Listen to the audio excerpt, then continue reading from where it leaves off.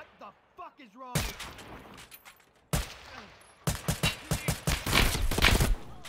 Our guy's down.